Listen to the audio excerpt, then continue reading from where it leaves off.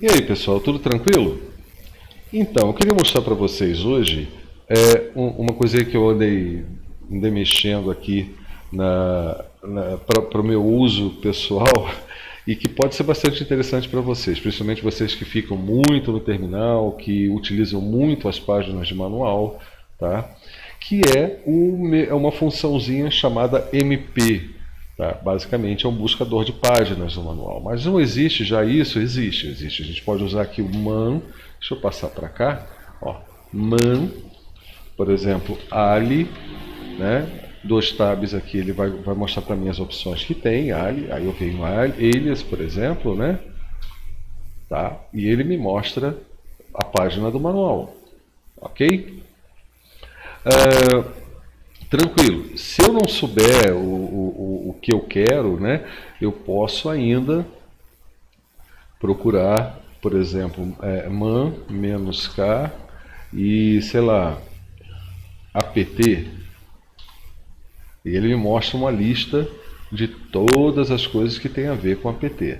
Mas eu encontrando aqui o que eu quero, eu ainda tenho, digamos que eu queira o, o apt mark, que está aqui, eu ainda tenho que digitar assim, ó, man apt mark.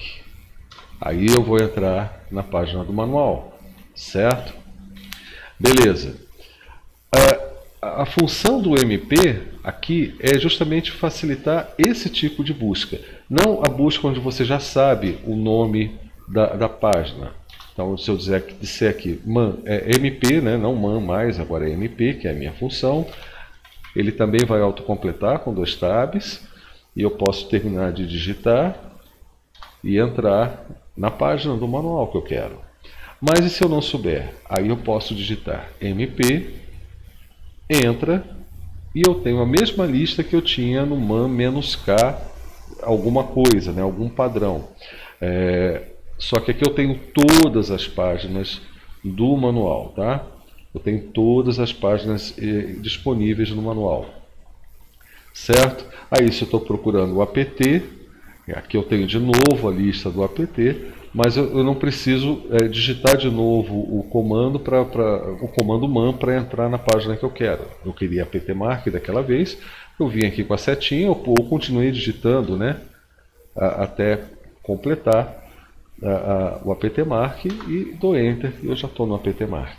Então dá para perceber que é muito mais prático você consultar páginas desse jeito.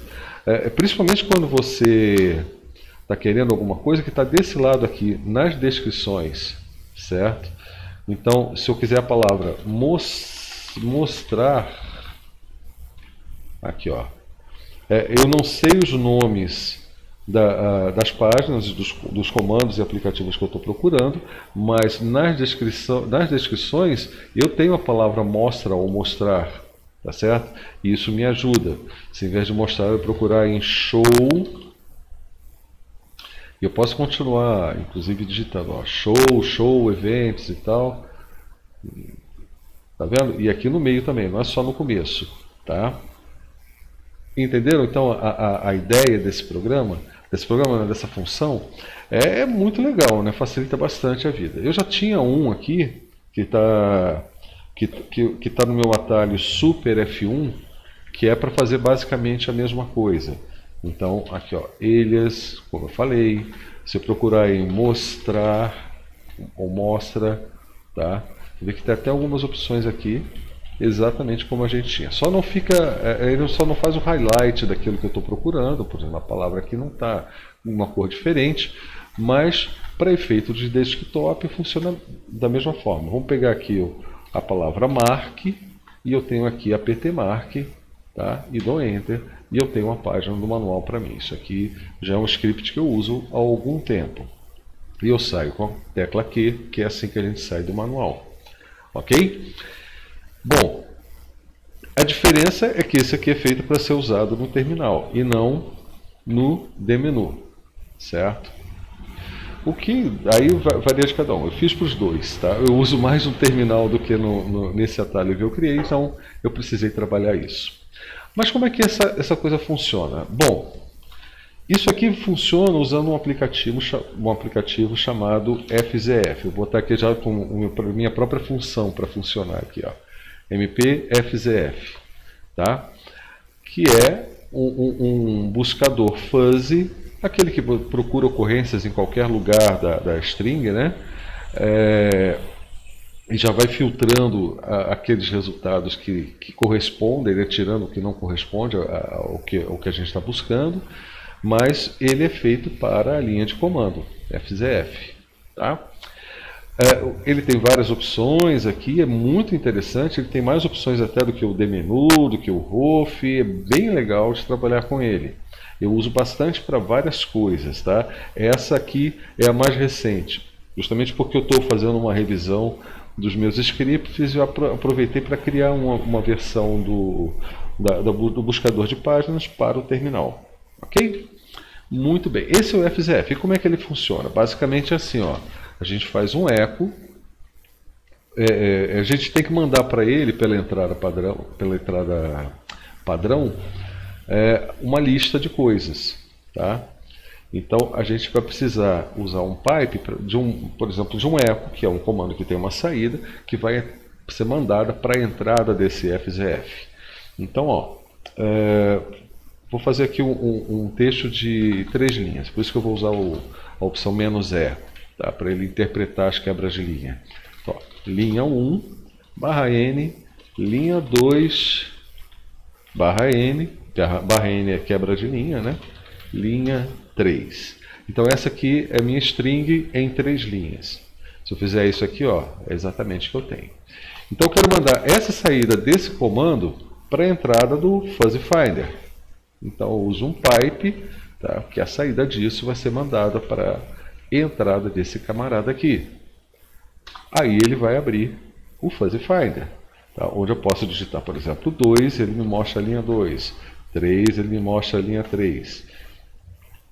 Ou pelas setinhas, também eu posso chegar ao que eu quero. Vou, eu vou, eu vou teclar Enter aqui na linha 2, certo?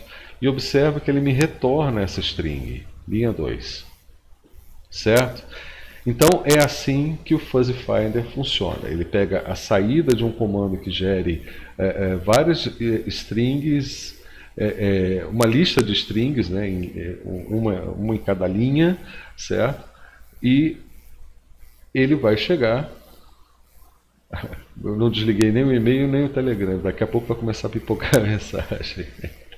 Mas não tem problema. É, e, e, ele vai pegar então a saída desse comando e usar como entrada para gerar é, a lista que a gente viu aqui. Tá certo? Então esse é o funcionamento básico. A gente sai com ESC. E ele tem algumas opções. Por exemplo, eu posso usar a opção reverse. Tá? Aí ele me mostra no topo, em vez de colocar embaixo. É, enfim, outras opções que a gente vai ver quando, quando a gente for analisar a função MP, tá certo? Muito bem, então basicamente é isso. Em vez de um eco, como eu falei, pode ser saída de qualquer comando. Eu posso usar aquele comando que eu, que eu mostrei para vocês lá no começo, esse comando aqui, ó, man-k ponto. Tá aqui, se eu der um enter aqui agora, ele vem com todas as entradas, uma lista de todas as entradas de páginas de manual, tá certo? Então aqui Zik, tem coisa que eu nunca vi, Zcat, tá? E é esse o formato que sai. Então, em vez de mandar isso para o terminal, eu posso redirecionar para o FZF. E eu já vou usar aqui o reverse, que eu gosto mais quando ele mostra o prompt lá em cima, tá? Muito bem. Então aqui eu já tenho basicamente a, o, o que o, a minha função faz. Tá? Basicamente é isso, a mesma coisa. Vamos botar aqui, ó, mostra. Tá? Só que ele está me mostrando onde tem e está me mostrando um monte de outras correspondências. Olha aqui, M, STR, Tá? Ele está pegando essa palavra aqui, essa string, e está pegando até partes dela para achar correspondência. Está tudo em verdinho aqui. Certo? Bom, isso não é o que eu quero. Por isso que eu vou usar uma opção aqui, reverse, menos E, de exata. Agora, se eu fizer mostra, olha lá, ele só me mostrou esses resultados que têm correspondência exata com o que está sendo digitado. Então, basicamente, é, é isso aqui. Só vai ter mais um detalhezinho que, eu, eu, que é onde a gente vai, é, vocês vão ver que, que a gente é, pede para ele priorizar aqui nessa, nessa lista de resultados os resultados que aparecem primeiro na string, ou seja, no começo para o final. Tá? Você vê que aqui está meio misturado. Aqui apareceu mais na frente e esse aqui já apareceu mais no fundão. Tá certo? Muito bem, escape de novo. Então, basicamente, esse é o Fuzzy Finder trabalhando para me mandar uma lista de, de ocorrências do manual. Tá certo? Muito bem, vamos ao script. Deixa eu limpar aqui. Deixa eu mudar aqui também para o Gene. E aqui está a função MP. Tá? É essa função aqui. Bom, nessa primeira linha dessa função, o que, que a gente faz? Primeiro a gente testa se, o, o se eu passei algum argumento. Tá? Essa variável posicional aqui, ela corresponde aos argumentos passados para uma função, para, uma, para, uma, para um script, tá certo? Então, é o primeiro argumento. Se ele for é, diferente de zero em termos de quantidade de, de, de, caracteres, tá? esse n aqui do comando teste, isso aqui é o comando teste, e a opção "-n" significa que o comprimento da string que eu estou testando é maior que zero. Então, se, se esse argumento tiver mais de, de zero caracteres, o que, que ele vai fazer? Conector lógico E executa man com a string que eu passei como argumento. Tá certo? Por exemplo, lá no começo eu fiz alias, então o valor aqui de cifrão 1 seria alias e ele executaria man alias. Tá? E em seguida, eu mando ele sair da função com o comando return. Tá certo? Então ele não vai executar mais nada que está aqui embaixo. Isso se eu passei um, algum argumento. Tá? Se eu não passar argumentos, isso aqui vai ser falso e ele vai pular direto para a próxima opção, para a próxima linha de comando onde eu mando ele criar uma variável local chamada page, página em inglês, basicamente, podia ser qualquer coisa, tá? e eu faço uma substituição de comando, que é uma das expansões do shell, tá? onde é, é, o resultado, vamos dizer assim, de todos esses comandos aqui dentro dos parênteses, vai ser retornado e armazenado na variável page, ok? Vocês já me viram fazer isso aqui no canal várias vezes. Tá? E o que eu estou mandando fazer aqui dentro dos parênteses? Olha, basicamente aquilo que eu já mostrei para vocês. man-k ponto, tá? e a saída desse comando man-k ponto, ponto é um, um, caractere especial do, do man-k que significa todas as entradas, tá? só, só isso que significa. Tá? É, enfim, a saída desse, desse comando man-k ponto vai servir de entrada para o FZF.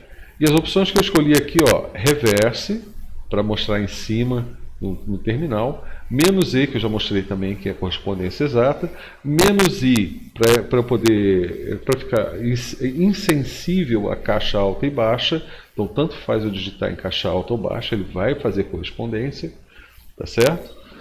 E esse tie break begin é aquilo que eu falei.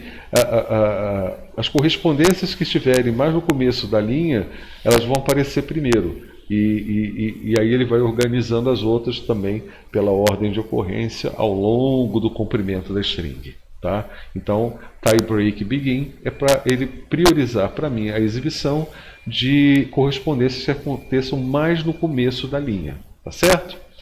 Então, basicamente, eu armazenei aqui aquela variável, aquela variável, aquele retorno aqui, ó. Vou botar aqui de novo. É, vou, vou, vou dar enter logo na primeira opção. Ele deu essa saída inteira aqui para mim, tá certo? Isso é que eu estou armazenando aqui em page, ok? Tranquilo. Essa é a variável page, então ela foi criada com a saída desse comando aqui. Perfeito. E de novo eu vou testar se essa variável ela tem o, o comprimento, essa, a string que está armazenada aqui tem um, tem um comprimento maior que zero. Então, de novo, teste menos n. Tá? Eu, só para repetir, isso aqui, gente, é o comando teste, tá legal? É o próprio comando teste. Se eu escrevesse teste, eu escrevesse assim, ó, teste menos n page, por exemplo, seria a mesma coisa. Só que essa notação aqui ela é mais interessante e dá alguns recursos a mais. Isso aí pode ser assunto para outro vídeo, qualquer hora dessas. Tá? Mas não vamos enrolar. Isso aqui foi só para deixar claro o que, que são esses colchetes. Tá? Bom, de novo estou testando esse page tem comprimento maior que zero. Desculpe a ambulância, hoje está movimentadíssimo, uma, uma manhã de sexta-feira altamente agitada aqui na avenida, na minha janela, tá certo? Mas vamos lá, testou, tem um comprimento maior que zero, ele vai executar o man novamente, tá? Aqui ó, man. Rapaz, mas que coisa horrível, caminhões, ambulância, desculpa aí gente, mas eu não vou cortar o vídeo, eu não corto o vídeo. Vamos lá. É, então, se de novo, se tiver o comprimento maior que zero, ele vai executar o comando man, só que não é mais daquilo que eu digitei lá na frente, é o do retorno desse comando aqui, é o que está aqui em page. Mas vocês repararam que aqui ó, ele retornou add user, conf, 5, ficheiro, tudo isso aqui é o que ele retornou. E se eu fizer man disso aqui, vai dar erro. Tá? Ele, veja só o que, que acontece. Ó, man, eu vou, vou copiar aqui, ó, Copiar. Colar. Só para não ter que digitar isso tudo, né? E nem fazer de novo o comando. Ó. Erro sintaxe, porque ele encontrou parênteses, encontrou um monte de caracteres especiais. Isso aqui não funciona para gente. Tá? Simplesmente não funciona. O que me interessa disso tudo é a primeira string contínua antes do primeiro espaço. Tá? Então, eu vou fazer isso aqui de novo. Eu vou fazer aqui no terminal para vocês, ó, teste, tá legal? É igual a essa ao resultado dessa substituição de comando. Vou fazer de novo, tá? É, vou dar Enter. Aí aqui, ó, vou escolher primeiro add user conf. Então, uma coisa mais interessante, apt, tá? Aqui, o apt está aqui embaixo, porque eu não estou usando aquelas opções. Beleza. Cadê o resultado? Ó, tá aqui em teste, ó. Eco teste. Tá? Isso aqui é o que ficou armazenado, mas só me interessa essa primeira parte. Aí entra uma outra expansão do shell. Isso aqui é uma expansão do shell, é chamada substituição de comando. E existem outras que eu já mostrei aqui também no, no, no nosso canal, que servem para manipular string. Tá? E eu quero fazer um trim é, de tu, toda essa parte. Eu quero cortar toda essa parte. Tá? Com licença. Desculpem. Então, como é que eu faço isso? É, quem não assistiu, tem um vídeo só sobre isso. Dá uma olhadinha, eu vou deixar na descrição. Mas vamos lá. Eu vou fazer o eco do teste. Só que eu vou, vou colocar o teste entre esses colchetes, certo? E vou fazer uma busca de trás para frente, tá vendo aqui, do, do fim para o começo, até encontrar a última ocorrência de trás para frente de algum espaço. Então, isso é feito no, nessa expansão com esses dois sinaizinhos de percentual. É, eles vão iniciar uma busca por um padrão. E qual é o padrão? Espaço. Mas é qualquer espaço? Olha, ele vai começar do começo aqui. Se não tiver espaço nenhum aqui, já não vai dar certo, porque esse espaço, esse padrão aqui, seria espaço mais tudo isso. E tudo isso é qualquer caractere ou nenhum, tá? e a gente representa com um asterisco. Então, espaço qualquer coisa. Tá? Então aqui é espaço qualquer coisa. Aqui é espaço qualquer coisa. Aqui é espaço qualquer coisa.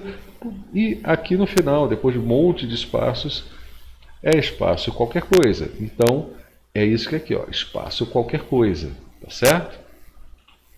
Bom, é, essa é a busca que eu vou fazer para ter retorno apenas da primeira string dessa linha, tá? da primeira string antes do espaço. Vamos ver se deu certo? Está aqui, apt é o que ele me retorna. Tá? É, só para completar a informação, se eu usasse um, um, percentual só, ele pararia no primeiro espaço que ele encontrou. Vamos ver aqui. Ó. Tá vendo? Ó? Linha D, ele encontrou o primeiro espaço alguma coisa aqui. Tá? Isso é espaço alguma coisa. Então ele parou de procurar. Então, por isso é que a gente usa os dois sinalzinhos de percentual. Tá? Aí ele me retorna exatamente o que eu quero. E foi isso que eu utilizei ali. Então, em vez de fazer um man daquele, daquela linha inteira, apt, o, número da, da sessão e, e, outras coisas, eu quero só o resultado, é, só essa parte aqui é, é, que foi é, é, que em inglês é trim, né? A parada. Isso, essa é a palavra. Que foi a parada, tá? Que, que a gente fez aqui assim, ó. Eco dá na mesma, né? Se eu fizesse é, man em vez de eco, aqui, ó. Posso usar direto aqui, ó. Man, ele me abriria a página do apt, tá? Porque aqui, ó, o que, ó, o que retorna quando eu faço essa expansão? Só o apt, tá certo? Por isso aqui é a mesma coisa que man apt, nesse caso aqui. Tá certo? E foi o que eu utilizei também na função. E basicamente é isso. Depois que ele, que ele executa, ele fecha, não precisa fazer absolutamente mais nada. Tá? É, eu poderia colocar um, um return tá, para formalizar essa saída, mas ele já vai sair normalmente. Tá? Ele vai encerrar a, a função. E o que acontece se eu der um ESC aqui no Fuzzy Finder? Estou lá no Fuzzy Finder e dou um ESC. O que, que acontece? Essa string aqui vai ser vazia. Page vai ser uma string vazia. Então, é, é, é, essa linha inteira vai deixar de ser executada. Não vai ser executada, porque o comprimento não é maior que zero. Tá? Ele é uma string vazia. Então, essa aqui é a função. É esse camarada daqui até aqui que faz a magiquinha, tá certo? Mas eu não estava satisfeito, isso aqui já funcionaria, mil maravilhas, mas eu não estava satisfeito porque é, sem o autocompletar ficava complicado usar o, o MP, tá? se de repente me desse na telha de, de autocompletar. Eu vou de novo, apt, ó, aqui, ó, tem tudo aqui, dois, dois tabs. Então eu implementei essa, essa função para ficar bem semelhante ao, ao funcionamento do man. Tá? Porque se eu fizesse man, ele daria para mim também uma lista de opções, tá certo? Para autocompletar. Não é bem um autocompletar, né? O autocompletar, só se eu tivesse é, apt-g, acho que só tem uma opção, aí ele autocompleta, tá certo? Mas basicamente é assim, o MP, que é, que é a minha função, funciona da mesma forma. Olha lá, e ele autocompleta também. Bom, eu vou fazer um vídeo só sobre é, é, como tornar qualquer script e função autocompletável. Tá? É, mas eu vou dar só uma adiantada aqui, porque eu tive que criar essa funçãozinha também para completar as entradas de manual utilizando o MP. Sem isso, MP digitado lá no terminal, tab, tab, não me retornaria nada. Tá?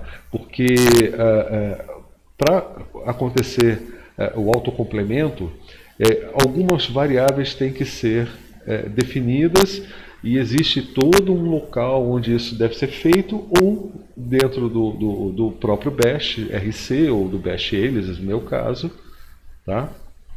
salvar aqui para evitar fazer besteira, é, eu posso fazer essa definição. Basicamente, a, a definição é por utilitário ou por função ou por comando, tá? Ela não é uma coisa que serve para todo mundo. Então, cada comando tem as suas definições de autocompletar e, e, e é cada uma mesmo. Eu posso mostrar para vocês agora, quer ver? Ó? Deixa eu fazer aqui, ó, ls, fica aqui, ó, ls barra usr, barra share, tá que eu parei de falar user? É, então eu aprendo também. Aqui, ó, bash completion, aqui é do próprio bash, vou, vou mostrar para vocês. Esse arquivo aqui, ó, bash completion, é, completion, não sei exatamente como se pronuncia, é onde está definida toda essa coisa do autocompletar do próprio bash, tá? do shell aqui que a gente está usando. É, se eu continuar aqui, ó, em completions, olha aqui, tá vendo? Tudo que tem autocompletar está aqui. Isso aqui são basicamente scripts, né, vamos dizer assim. Tá? Não, não precisam ser executáveis, você vê que alguns nem, são, não, nem estão em verdinho aqui, está tudo em branco, porque não precisa ser executável, porque isso vai ser carregado através de um, de um, de um processo chamado de source no próprio bash, tá? quando for necessário. Então, aqui estão as definições de autocompletar, inclusive do nosso manual. Será que eu acho aqui ele fácil? Ó? Você precisa dar o comando de novo? Achei, ó, man, tá?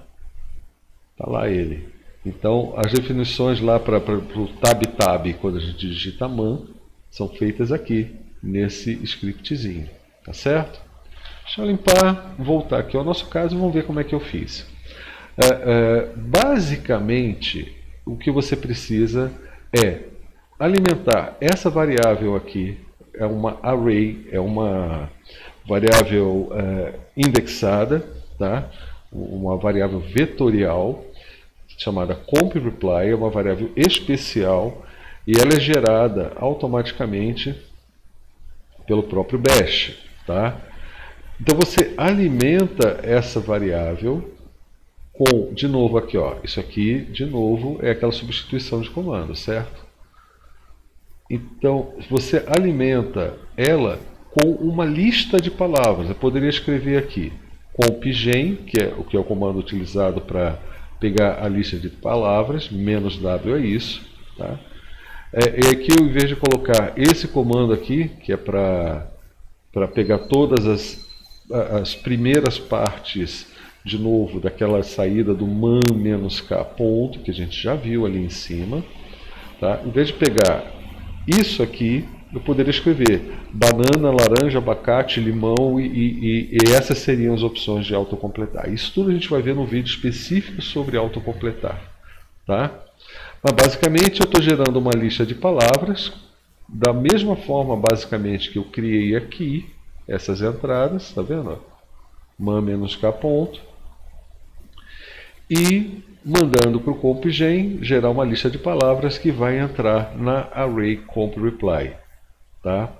Essas, essas outras arrays aqui, ó, comp words, tá vendo que estou vendo aqui e aqui, é, basicamente ele só estava servindo para mim para duas coisas. Primeiro, para aqui é para parar de, de tentar autocompletar depois que eu cheguei a um primeiro resultado. Dessa forma aqui, ó. Man, se eu fizer man apt, tá? Aí eu dei espaço, ele continua fazendo. Tá? Isso é o comportamento original. Deixa eu botar um não aqui, deixa eu colocar. Ah, tá vendo? Eles. Esse é o comportamento normal do autocompletar do man. Mas eu não quero isso no MP. Tá? Então, se eu fizer aqui, ó, MP alias, ok? Se eu fizer agora apt, ó, ele não posso dar tablet nenhum louco aqui que ele não vai tentar autocompletar. É, esse é o comportamento que eu quero. Tem a primeira palavra, eu já não quero mais. Então, é isso que eu falo aqui. Se o comprimento é, é dessa, se o tamanho, se o número de elementos dessa array compwords for é, diferente de 2, para. Tá? No caso, 1 é diferente de 2, então é para parar. O return aqui é para encerrar a função, não é verdade? Muito bem. É, mas onde que essa, essa comp words ela é gerada? Aqui, ó. Tá certo? Isso aqui faz parte desse comando compgen. Então, e a gente vai ver depois, mas basicamente é, isso aqui é, é o, é, é, gerado pelo comando compgen a partir do que a gente escolher nessa lista de palavras. Tá certo? Bom, isso a gente vai ver num, num vídeo especial sobre isso. Tá? Então eu gerei essa função autocomplete, eu preciso carregar essa função. Como é que eu carrego ela? Bom, ele já está no meu, no meu bash eles, então é, o meu bash rc está chamando esse arquivo e isso tudo já está carregado. Tá? Mas eu tenho que executar essa função autocomplete mp toda vez que eu executar algum comando. E aí que entra o comando complete, com a opção "-f para executar a função que eu quiser quando eu chamar o comando que eu quiser. Tá? Então, o complete também é um comando interno do bash. Tá? Então, a função autocomplete mp vai ser chamada né, se eu é, estiver usando a função mp aqui, essa função. Tá? Então, quando eu estou no terminal, eu digito mp e dou tab tab, né? sem, sem espaço, o shell está completando para mim. Aí dê espaço, ó, ele vai pedir, perguntar se 6.398 possibilidades. Tá? Se eu disser sim, ele vai mostrar tudo, certo? Elias, de novo, porque só tem dois ali, é fácil para a gente ver, tá certo? Então, essa é a ideia. É bem legal, né? A função aqui que está sendo chamada para fazer esse autocompletar. Aqui, ó. É essa função aqui, autocomplete MP. E quem que chama essa função? O comando interno complete com a opção "-f", tá? que é para chamar funções. E por que, que ele está chamando? Porque eu estou usando a função MP tá? que é reconhecida como um comando também, né? no terminal. Tá certo? Então, gente, é basicamente assim que faz. Eu vou deixar, evidentemente, esse código lá no lá nos meus GISTs, tá? Eu ainda não coloquei, vou colocar agora e vou, vou colocar o link na descrição quando eu publicar. E aí vocês podem colocar onde vocês costumam colocar os seus hélices. Tem gente que coloca no Bash RC, eu coloco na, na, direto na pasta, numa, direto não, eu coloco numa outro arquivo chamado Bash hélices, tá? Então é só copiar isso lá do lá do, do, do GIST, depois que estiver lá, copia lá, cola no, onde você normalmente colaria os seus hélices e seja feliz, pode usar à vontade. Se tiver alguma melhoria que vocês puderem é, é, fazer aí nesse código também, pode mandar para mim. Eu fico super feliz quando isso acontece. Pode fazer um fork né, com melhorias e mandar o um link para mim aí nos comentários. Eu fico super feliz com isso. Tá legal? Então fica de olho aí na descrição que eu vou mandar para vocês. Uh, então o vídeo de hoje é isso, gente. Eu vou fazer só um MP aqui para ficar bonitinho, para ficar legal na thumb, né? Então, ó, esse aqui é o nosso comando MP. Na verdade, é uma função, tá certo? Então, muito obrigado por assistirem mais esse vídeo e até o próximo.